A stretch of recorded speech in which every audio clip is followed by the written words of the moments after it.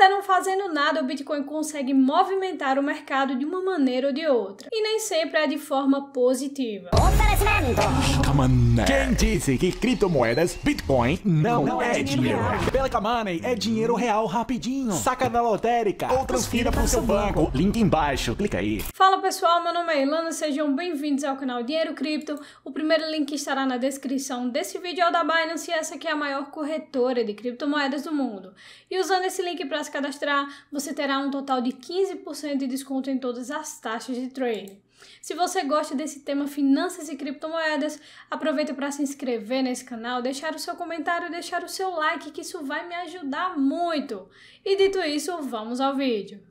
Meus amigos, embora o preço do Bitcoin esteja quase estático há quatro meses após uma grande queda, o poder computacional da maior criptomoeda do mercado não para de crescer, atingindo novos recordes históricos. Em outras palavras, a concorrência está maior e, ao contrário da mineração de ouro, mais máquinas não significam maior retorno. Afinal, a recompensa por cada bloco é de 6,25 bitcoins, um número que cairá pela metade em 2024. Com isso, gigantes da mineração estão em apuros. Apenas nessa semana, as ações da Core Scientific caíram 9,7%, enquanto da Cyper registrou perdas de 7,7%, mas a tendência é geral. De qualquer forma, essa queda é pequena quando olhamos para o quadro geral. O ETF da Valkyrie, que permite a exposição de investidores a dezenas de mineradoras, já está em queda de 77% desde fevereiro, quando foi apresentado ao público. Em agosto, a Stronghold Mineradora listada na Nasdaq devolveu 26.200 ASICs de mineração de Bitcoin para quitar uma dívida milionária. Naquele mês, as vendas de Bitcoin por grandes empresas também chocou o mercado. Além de Bitcoins recém-minerados, muitas delas também precisaram se livrar de moedas acumuladas no longo prazo para equilibrar seus caixas.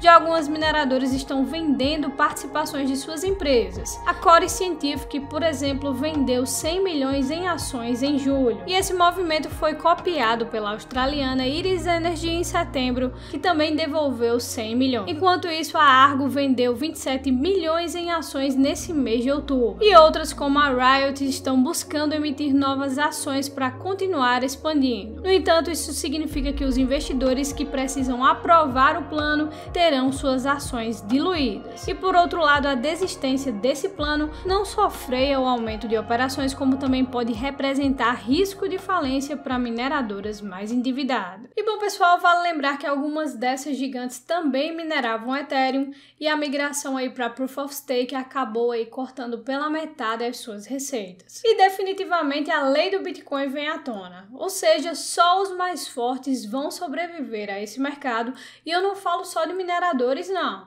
eu falo de investidores, de empresas e afins. E é isso, pessoal, muito obrigado por terem assistido, deixe seu like nesse vídeo e até mais!